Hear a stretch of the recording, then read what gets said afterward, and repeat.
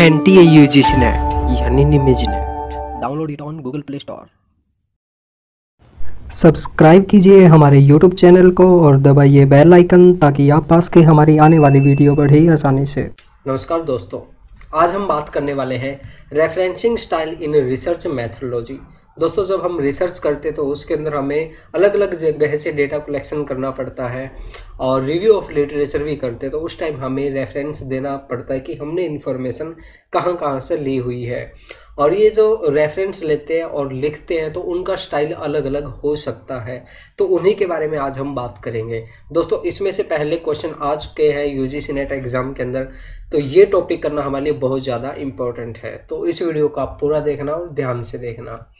दोस्तों, अगर आपको नेट और जार चाहिए तो हमारा पेड कोर्स ज़रूर ज्वाइन कीजिए। इसमें हम आपको क्या देने वाले हैं? नंबर एक 2022 के न्यू अपडेटेड नोट्स देंगे। नंबर दो 2012 से लेकर 2020 तक सभी शिफ्ट के क्वेश्चन पेपर हिंदी, इंग्लिश में देंगे। नंबर तीन पे दोस्तों, हम आपको 2012 से लेकर 2020 तक सभी शिफ्ट के यूनिट वाइज क्वेश्चन आपको देखने को मिलेंगे। नंबर चार पे दोस्तों, आपको यूनिट वाइज के अलावा आपको सब टॉपिक वाइज क्वेश्चन भी देंगे। आज तक जैसे जो भी टाइप ऑफ़ रिसर्च से क्वेश्चन आ चुके वो अलग है। हाइपोथेसिस के अलग है। टाइप ऑफ़ कम्युनिकेशन से जो भी क्वेश्चन आ चुके वो अलग है। यानी कि सब टॉपिक वाइज क्वेश्चन भी आपको मिलने वाले हैं। नंबर पाँच पे दोस्तों, हम आपको ओल्ड टेन यूनिट की एड फ्री वीडियोस देने वाले हैं। इसके अलावा भी आपको पेड कोर्स में बहुत कुछ मिलने वाला है। हम आपको मैथ और डीआई के सभी क्वेश्चन का सोल्यूशन प्रोवाइड करवाएँगे। और इसके साथ साथ दोस्तों, हम आपको ये बताएँगे कि ऐसे कौन से क्वेश्चन है जो बार बार एग्ज़ाम के अंदर रिपीट होते हैं। तो दोस्तों, देर किस बात की? अभी ज्वाइन कीजिए हमारा पेड कोर्स क्योंकि निमिजी नेट है तो जीआरएफ है।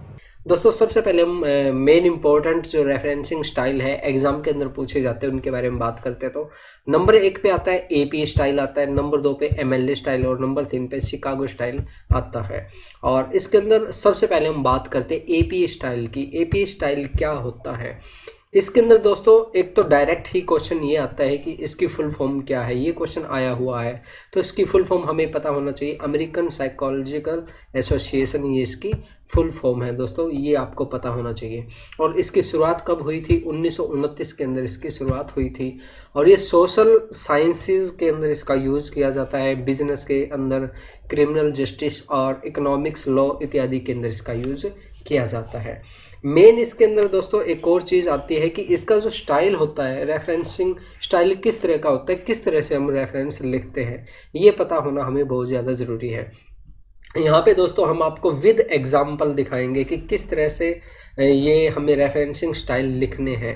और किस तरह से इसमें से क्वेश्चन आए, वो सारी चीज़ें आपको आज दिखाने वाले हैं। सबसे पहले हम बात करते हैं दोस्तों, इसके स्टाइल के बारे में बात करते हैं। तो दोस्तों, ए पी स्टाइल के अंदर सबसे पहले लास्ट नेम आता है और फिर आता है फ़र्स्ट नेम लास्ट नेम का मतलब जैसे मान के चले, रवि कुमार है। रवि कुमार के अंदर कुमार लास्ट नेम हो गया।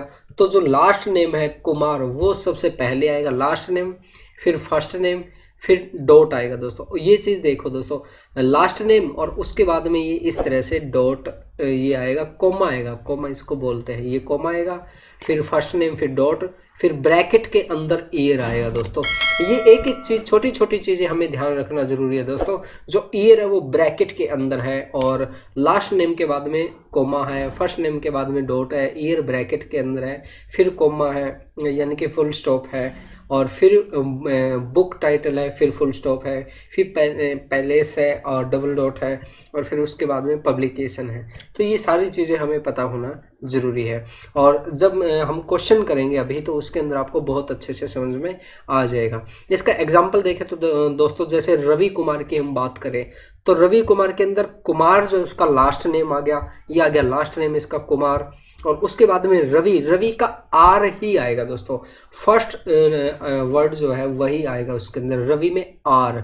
ठीक है, आर लिख दिया हमने, आर के बाद डॉट फिर ब्रैकेट में 2015 dot effect of TV dot उसके बाद में पैलेस यानी कि कहाँ से ये पब्लिकेशन हुआ है? रोहतक हो गया और फिर अजंता पब्लिकेशन किसने पब्लिश किया है ये? तो वो हो जाएगा। अब हम दोस्तों इसके अंदर जो क्वेश्चन आया है हमारा, उसके बारे में हम बात करते हैं। दिसंबर 2012 के अंदर क्वेश्चन आया था। इसमें हम इसको अच्छे से समझने की कोशिश करते हैं। और अभी मेरे पास कुछ दिन पहले भी एक स्टूडेंट का वो आया था व्हाट्सएप पे मैसेज आया था। तो वो कह रहा था कि, सर, इसमें मेरे को समझ में नहीं आ रहा कि ऑप्शन नंबर ए और बी के अंदर ए और डी के अंदर क्या डिफरेंस है मेरे को समझ में नहीं आ रहा। अगर हम नॉर्मल तरीके से देखें तो दोनों के दोनों हमें सिमिलर दिख, दिखने को मिलेंगे दोस्तों। ज़्यादा अंतर इसमें नहीं देखने को मिल रहा। लेकिन हमें ध्यान से देखने की ज़रूरत है इसके अंदर दोनों में क्या डिफरेंस है। यहाँ पे देखिए इन्होंने इसका आंसर ए दिया दोस्तों। यहाँ पे ए पी स्टाइल का ए आंसर दिया है। अब दोस्तों हम ए और डी के अंदर क्या डिफरेंस है वो हम देखने की कोशिश करते हैं। यहाँ पे देखिए शर्मा शर्मा के बाद में ये देखिए कोमा यहाँ पे इन्होंने दिया हुआ ये कोमा आप देख सकते हैं। दोस्तों, यहाँ पे मैं आपको बिल्कुल आसानी से समझाने की कोशिश करूँगा। देखिए, यहाँ पे हम ए ये है हमारा ए और ये है हमारा डी इन दोनों के अंदर हम डिफरेंस देखने की कोशिश करेंगे कि क्या अंतर है इन दोनों के अंदर। ये देखिए, यहाँ पे इन्होंने क्या है? कोमा लगाया हुआ है और यहाँ पे इन्होंने क्या है? फुल स्टॉप लगाया हुआ है। ठीक है, ये मेजर इसके अंदर डिफरेंस हो गया यहाँ पे। उसके बाद में हम बात करें वी वी के बाद फुल स्टॉप है, दोनों में सेम है। फिर 2010 है, ये ब्रैकेट के अंदर है ब्रैकेट के अंदर है। लेकिन यहाँ पे देखिए, ये हमारा फुल स्टॉप है। और यहाँ पे इन्होंने क्या है कोमा लगाया हुआ है। और हमारा जो ए स्टाइल था एपीए स्टाइल के अंदर देखिए दोस्तों, जो हमारी ईयर थी ईयर के बाद में ये हमारा फुल स्टॉप है यहाँ पे। ठीक है, और यहाँ पे देखिए, यहाँ पे हमारा ये कोमा है। और लेकिन यहाँ पे देखिए डी के अंदर यहाँ पे फुल स्टॉप है और यहाँ पे कोमा है। तो ये इन्होंने यहाँ पे अंतर किया हुआ है। ये आप डिफरेंस यहाँ पे बिल्कुल आसानी से यहाँ पे देख सकते हैं। अब ये देखिए ऑप्शन नंबर ए जो है, ये दोस्तों, ये पूरा का पूरा ये जो फॉर्मेट है, इसके अंदर फिट बैठ रहा है। तो इस तरह से दोस्तों, हमें हर एक छोटी छोटी चीज़ पे ध्यान देना होगा ए फॉर्मेट के अंदर। और हम बिल्कुल आसानी से क्वेश्चन कर सकते हैं। ये देखिए, जैसे लास्ट नेम लास्ट नेम आ गया, शर्मा आ गया, फिर कोमा आ गया, फिर वी आ गया, फिर फुल स्टॉप आ गया, फिर ईयर 2010 ब्रैकेट के अंदर, फिर full stop fundamental of computer science फिर आ गया फुल स्टॉप और फिर नई दिल्ली आ गया, और फिर डबल डॉट और फिर टाटा मैग्रो हिल, ये आ गया। तो दोस्तों, आप देख सकते हैं, बिल्कुल आसानी से इस क्वेश्चन को आप कर सकते हैं। और मैं उम्मीद कर रहा हूँ आपको ये क्वेश्चन समझ में आ गया होगा। और अगर फिर भी अगर आपको कोई प्रॉब्लम है तो आप हमें व्हाट्सएप पे कांटेक्ट कर सकते हैं। और यहाँ पे दोस्तों, हमने इंग्लिश में भी ये क्वेश्चन दिया हुआ, आप इंग्लिश में भी इसको देख सकते हैं। यहाँ पे हिंदी इंग्लिश दोनों में इसको आप देख सकते हैं। और एक और चीज़ मैं यहाँ पे मोस्ट इंपॉर्टेंट चीज़, एक और मैं यहाँ पे बता देता हूँ दोस्तों। यहाँ पे देखिए, अगर बुक को साइट करना हो, ठीक है, अगर हमें कोई बुक दी हुई है बुक का रेफरेंस हमें देना है तो वहाँ पे बुक का जो टाइटल है दोस्तों, वो क्या आएगा? इटैलिक आएगा, तिरछा करके आएगा वहाँ पे, ठीक है? बुक के अलावा अगर कोई और चीज़ है मैगजीन वगैरह है तो जो बुक का टाइटल है वो दोस्तों सिंपल आएगा। ठीक है, ये चीज़ आप बहुत ध्यान रखना एपीए स्टाइल के अंदर। अब इसका भी मैं एक एग्जांपल दिखाता हूँ जिससे आपको अच्छे से समझ में आ जाएगा। ये हमारा क्वेश्चन आया था दोस्तों, शायद 2013 के अंदर एक क्वेश्चन आया था। यहाँ पे देखिए इन्होंने पूछा हुआ कि निम्नलिखित में से कौन कौन ए शैली के संदर्भ में कि में सही है, कौन सा ए पी शैली के अंदर सही है, वो हमें बताना है। तो इसका आंसर इन्होंने दिया दोस्तों बी सी डी यहाँ पे इन्होंने आंसर दिया हुआ है। तो बी सी डी देखते दोस्तों बी सी और डी ये है। बी के अंदर है, लेखकों के नाम उल्टा करके लिखे, अंतिम नाम पहले। ये इसकी बात बिल्कुल सही है दोस्तों, अभी हम करके आए हैं एपीए स्टाइल के अंदर करके आए हैं कि लास्ट नेम पहले फ़र्स्ट नेम बाद में। ठीक है, ये उल्टा नाम हो गया। उसके बाद में हम बात करते हैं लंबी कृतियों, जैसे पुस्तक एवं जर्नल के शीर्षक तिरछा करके लिखे। ठीक है, ये बात आ गई ना। अगर यहाँ पे हमें पुस्तक वगैरह दी है या फिर जर्नल दी है तो उसके जो टाइटल है, बुक का टाइटल है, वो हमें इटैलिक के अंदर लिखना है। ये सी आ जाइए। डी के अंदर है, संदर्भ सूची, प्रविष्टों का वर्णानुकरण में सूची यन करना। अब इसको आप इंग्लिश में देख लीजिए, जिससे आपको अच्छे से समझ में आ जाए। बात हो रही है, डी की बात चल रही है तो अल्फ़ाबेटिकली इंडेक्स रेफरेंस लिस्ट यानी कि अल्फ़ाबेटिकली होनी चाहिए, बिल्कुल सही है दोस्तों। यानी कि इसके अंदर क्या होता है कि सबसे पहले ए नाम से रिलेटेड जो भी रेफरेंस है, वो लिखने चाहिए, फिर बी से, फिर सी से, फिर डी से। इस तरह के, इस तरीके से अल्फ़ाबेटिकली हमें चलना है। ये चीज़ होगी दोस्तों। तो ये दो क्वेश्चन आए हुए हैं दोस्तों हमारे एपीए स्टाइल से रिलेटेड आप इन दोनों को अच्छे से देख लेना। और आगे हम बात करते हैं दोस्तों, आगे है हमारे पास एमएलए स्टाइल है दोस्तों। एमएलए स्टाइल के अंदर भी दोस्तों हमें इसकी फुल फॉर्म हम पता होना ज़रूरी है एमएलए स्टाइल के अंदर। एमएलए स्टाइल की फुल फॉर्म है दोस्तों modern language association in America of America. और ये कब हुआ था? 1985 के अंदर इसको शुरू किया गया था। और इसका भी हम देखते हैं दोस्तों, इसको कहाँ कहाँ पे यूज़ किया जाता है? ह्यूमनिटी एंड लिटरेचर के अंदर इसका यूज़ किया जाता है। और इसका जो फॉर्मेट है दोस्तों, इसका फॉर्मेट हम देखते हैं। Last name, first name, same वैसे ही है दोस्तों, जैसे ए पी स्टाइल के अंदर था। और इसमें भी ये देखिए, ये कोमा है यहाँ पे, और उसके बाद में फुल स्टॉप है यहाँ पे। और यहाँ पे देखिए, बुक नेम आ गया। उसमें क्या था? एपी स्टाइल के अंदर क्या था? यहाँ पे फ़र्स्ट नेम के बाद हमारा ईयर था। ईयर ब्रैकेट के अंदर दिया हुआ था, लेकिन यहाँ पे जो ईयर है दोस्तों ईयर सबसे लास्ट में दिया हुआ है।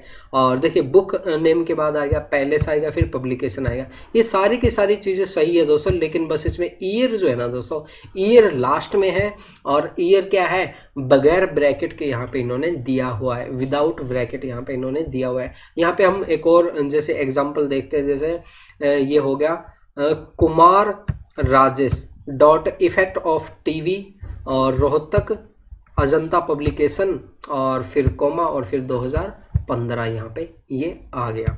और इससे रिलेटेड जो क्वेश्चन आया, वो भी मैं आपको दिखाता हूँ, जिससे आप अच्छे से इसको समझ सके। अब ये देखिए दोस्तों, ये क्वेश्चन आया था हमारा जून 2013 के अंदर क्वेश्चन आया हुआ है।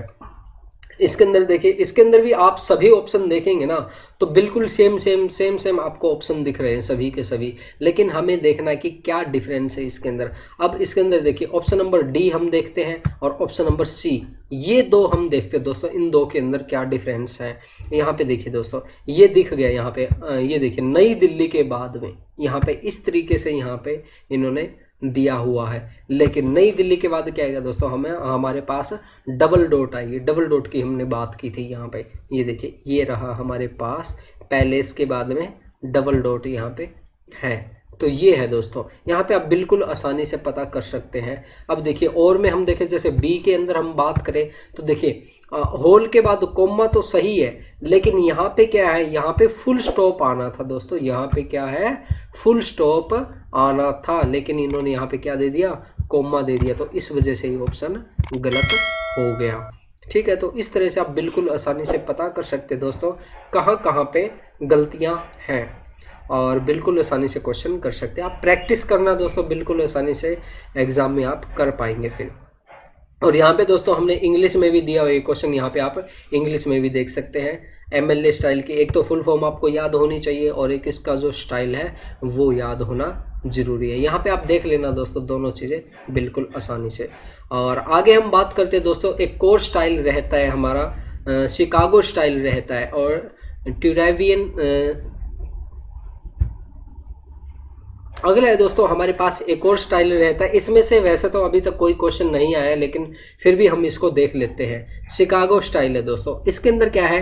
लास्ट नेम आएगा, फिर आएगा, फ़र्स्ट नेम आएगा। यहाँ पे इस तरीके से ये कोमा लगाया हुआ है। यहाँ पे फुल स्टॉप है। यहाँ पे बुक का नेम क्या है दोस्तों? इटैलिक यहाँ पे इन्होंने दिया हुआ है। बुक का नेम क्या है? इटैलिक आएगा, पैलेस आएगा, फिर डबल डॉट आएगा, फिर पब्लिकेशन आएगा, और फिर यहाँ पे ये आएगा डॉट सॉरी, कॉमा आएगा और फिर ईयर आएगा। तो दोस्तों, आप यहाँ पे इसको देख लेना। यहाँ पे इस पे, इसमें क्या डिफरेंस आ रहा है हमारा? ये देखिए, ये देखा जाए तो एमएलए स्टाइल के जैसा ही है, लेकिन यहाँ पे इन्होंने बुक का जो नेम है, वो बुक टाइटल इटैलिक के अंदर दिया हुआ है।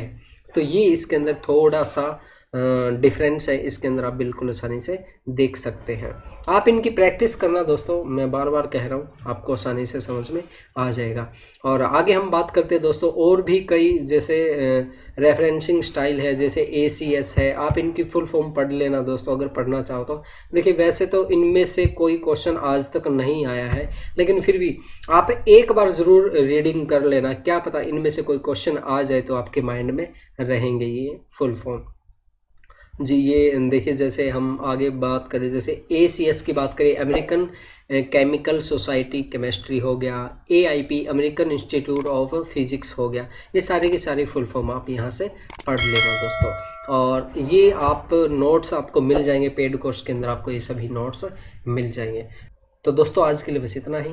थैंक यू दोस्तों, अगर आपको नेट और जीआर चाहिए तो हमारा पेड कोर्स ज़रूर ज्वाइन कीजिए। इसमें हम आपको क्या देने वाले हैं? नंबर एक 2022 के न्यू अपडेटेड नोट्स देंगे। नंबर दो 2012 से लेकर 2020 तक सभी शिफ्ट के क्वेश्चन पेपर हिंदी इंग्लिश में देंगे। नंबर तीन पे दोस्तों, हम आपको 2012 से लेकर 2020 तक सभी शिफ्ट के यूनिट वाइज क्वेश्चन आपको देखने को मिलेंगे। नंबर चार पे दोस्तों, आपको यूनिट वाइज के अलावा आपको सब टॉपिक वाइज क्वेश्चन भी देंगे। आज तक जैसे जो भी टाइप ऑफ़ रिसर्च से क्वेश्चन आ चुके वो अलग है। हाइपोथेसिस के अलग है। टाइप ऑफ़ कम्युनिकेशन से जो भी क्वेश्चन आ चुके वो अलग है। यानी कि सब टॉपिक वाइज क्वेश्चन भी आपको मिलने वाले हैं। नंबर पाँच पे दोस्तों, हम आपको ओल्ड टेन यूनिट की एड फ्री वीडियोस देने वाले हैं। इसके अलावा भी आपको पेड कोर्स में बहुत कुछ मिलने वाला है। हम आपको मैथ और डीआई के सभी क्वेश्चन का सोल्यूशन प्रोवाइड करवाएँगे। और इसके साथ साथ दोस्तों, हम आपको ये बताएँगे कि ऐसे कौन से क्वेश्चन है जो बार बार एग्ज़ाम के अंदर रिपीट होते हैं। तो दोस्तों, देर किस बात की? अभी ज्वाइन कीजिए हमारा पेड कोर्स क्योंकि निमिजी नेट है तो जीआरएफ है।